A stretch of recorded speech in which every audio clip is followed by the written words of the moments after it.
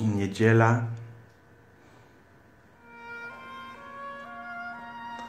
21 listopada 2010 roku.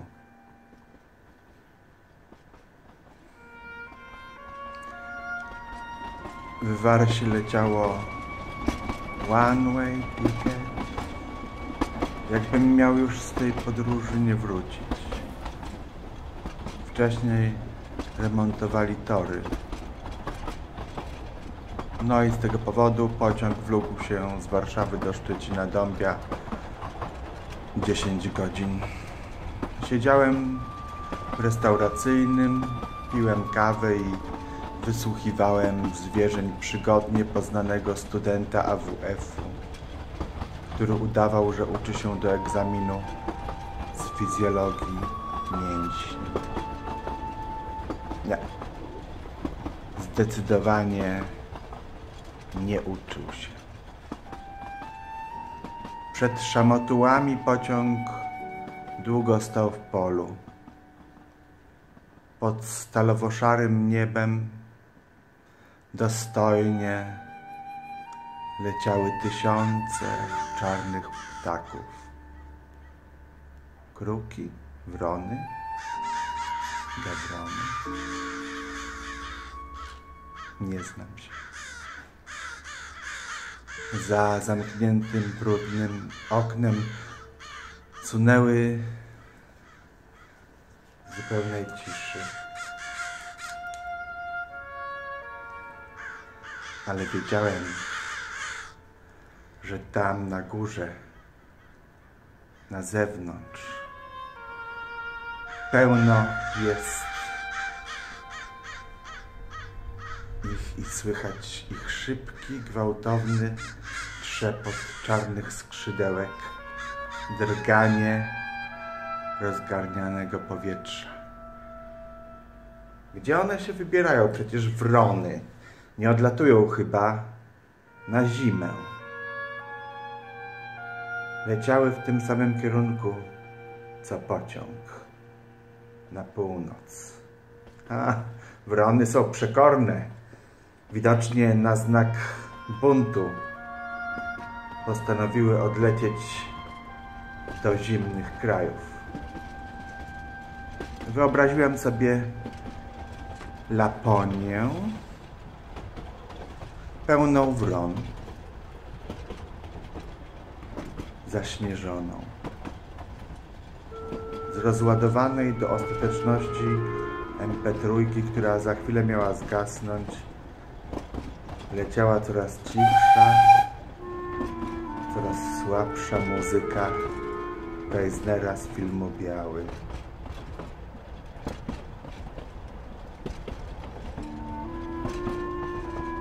Niezły power. Idealny podkład muzyczny do tych lecących w ciszy wron, e, gawronów. A, nie wiem zresztą czego. Czarnego czegoś. Ze studenta nie miałem już pożytku. Wyciągnął długopis i zagłębił się w krystalicznie abstrakcyjny świat sudoku. Potem nagle wysiadł we Wronkach. Tam jest uniwersytet? Wow. Mieć egzamin z mięśni we Wronkach. Egzamin w więzieniu, bo tylko z tym mi się te wronki kojarzyły. Jak zwykle wypatrywałem gmachu tego więzienia i jak zwykle nie dało się go zobaczyć. Chyba zawsze będę go sobie już tylko wyobrażał. Może i dobrze, bo żaden realny budynek nie sprostałby już tym wyobrażeniom. Więźniowie y, często z nudów, żeby coś robić, całymi latami ćwiczą mięśnie. Robią pompki. Więc mięśnie we wronkach. Chyba przysnąłem, bo moja wyobraźnia zapełniła się umięśnionymi więźniami w pasiakach i studentami zdającymi egzamin z mięśni, pokazującymi wskaźnikami tricepsy na napiętych rękach więźniów.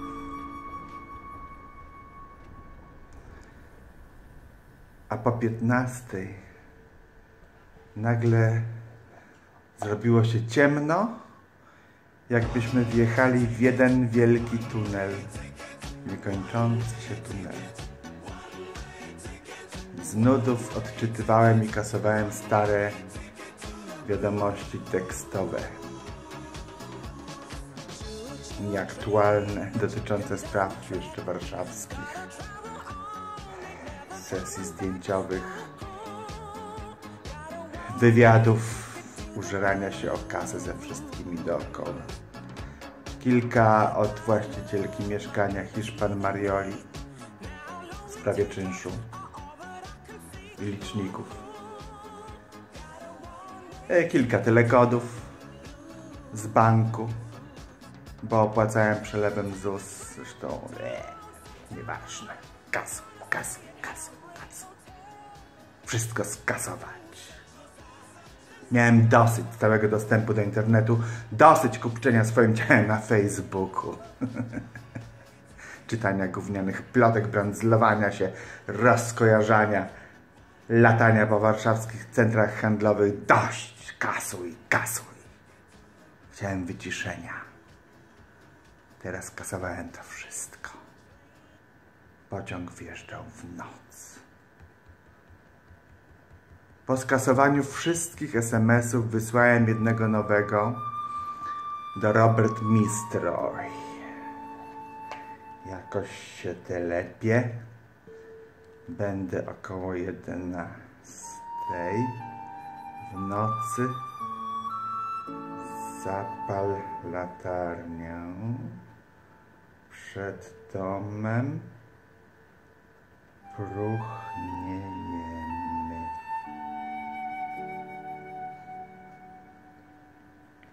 Rwalnie odpowiedział. Albo sieć nie łapała, albo mu się nie chciało, albo w ogóle od tygodnia nie włączał komórki, bo zamknął się w sobie. Nie wiem, czy on w ogóle wie, że ja przyjeżdżam. Za oknem przeleciało widmo stacji Krzyż. Zawyło jak wilk w polu i natychmiast znikło. Mignęły światła, zawył inny pociąg. Nic już nie było słychać ani widać, nic. Podróż właściwie już się skończyła, jednak trwała dalej. Pociąg widmo, pusty, który musi jechać, bo już nie potrafi się zatrzymać.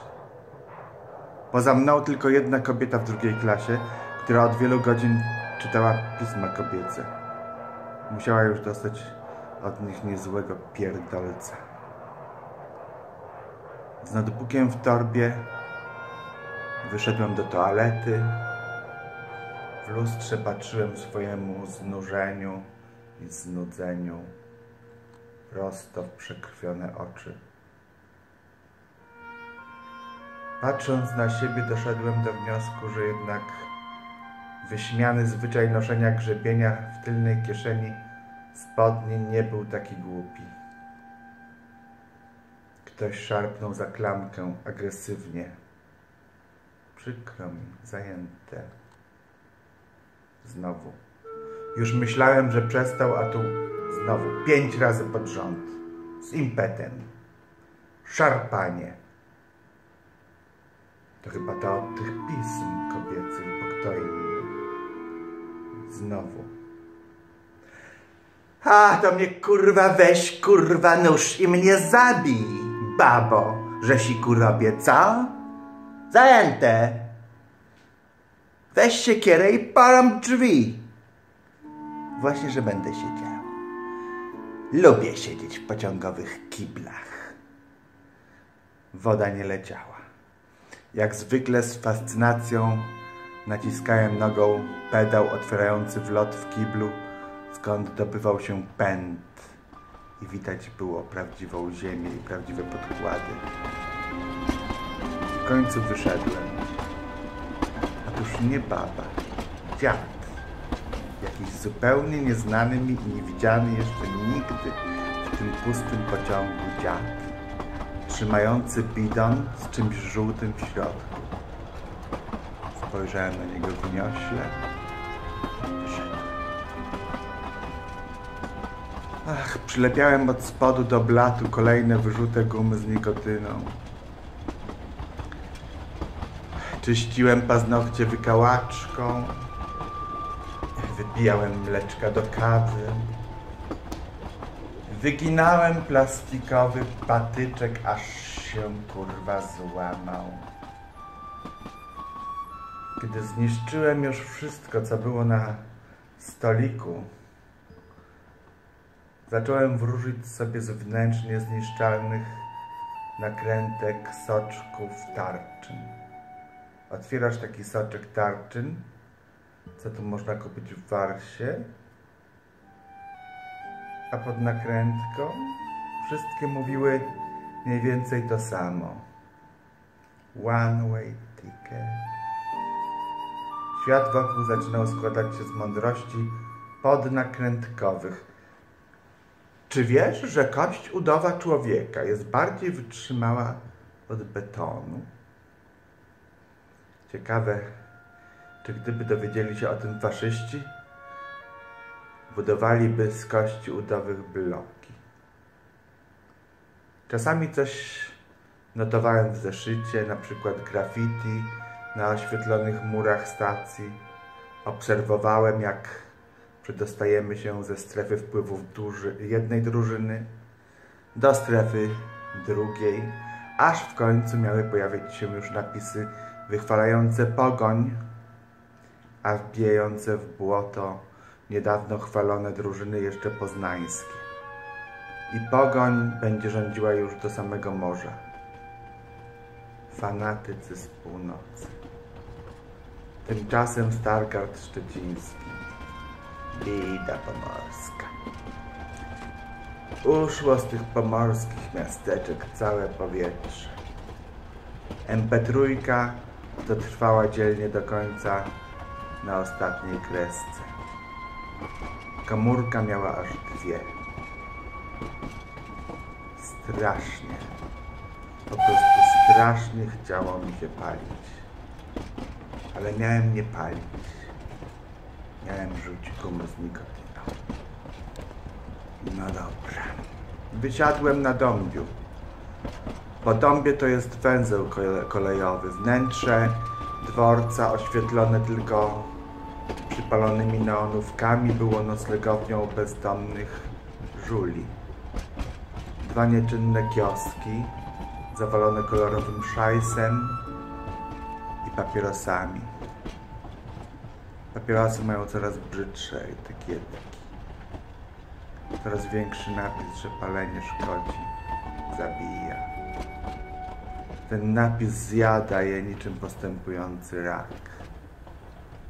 W bufecie leżały za szkłem szare kurczaki i tak zwana łatwa żywność. Batoniki, herbatniki, chipsy i jakaś sałatka ziemniaczana, która biła rekordy na giełdach indeksów glikemicznych. Jak zwykle miałem ze sobą własne jedzenie w plastikowym pudełku. Jabłko, marchewkę, sałatkę i wodę mineralną. Byłem jedynym gościem w tej knajpie dworcowej z kawą w tekturowym kubku, która parzyła mi rękę. Wyszedłem przed dworzec prosto w melancholijny dźwięk dzwonów. Mróz. I w tym mrozie dzwony. Para leciała mi z ust, jakbym zapalił niewidzialnego papierosa.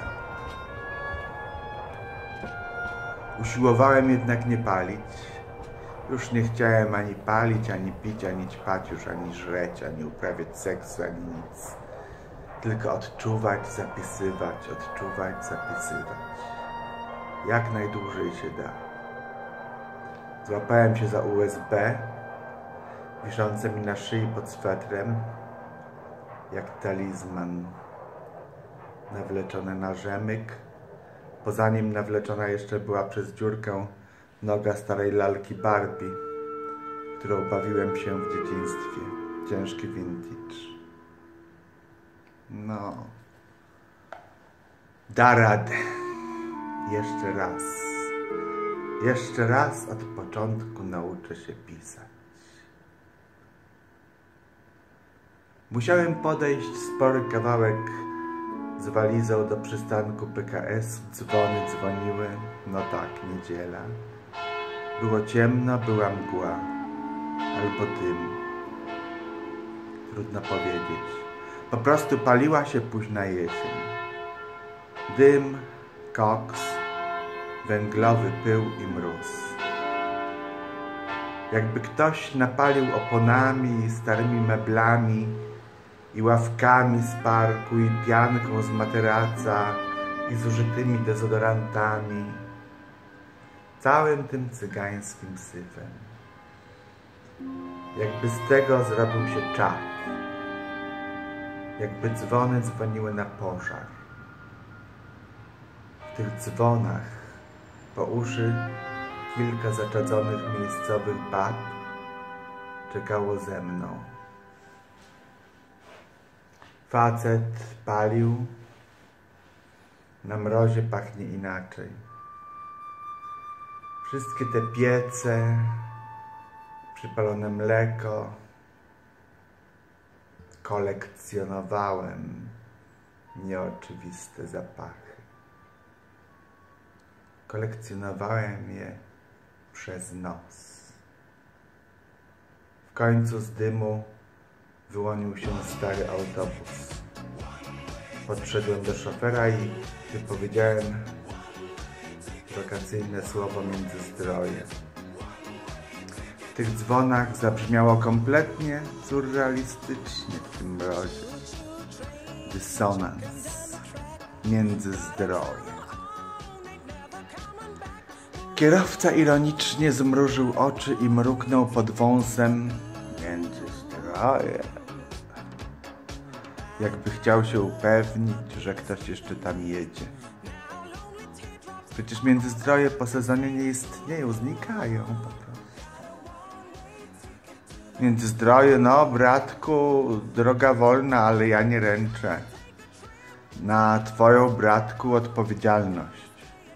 Mam nadzieję, że masz żywność na tydzień, latarkę i broń. Po czym zamknął drzwi i pogłośnił radio Złote Przeboje, w którym puszczali akurat One Way Ticket i ruszył. Przylepiłem się do okna, czarną mitenką zrobiłem plamę zaparowanej szyby i wyjrzałem. Mijaliśmy zakład szewski, dzwony już były we mnie i dzwoniły już.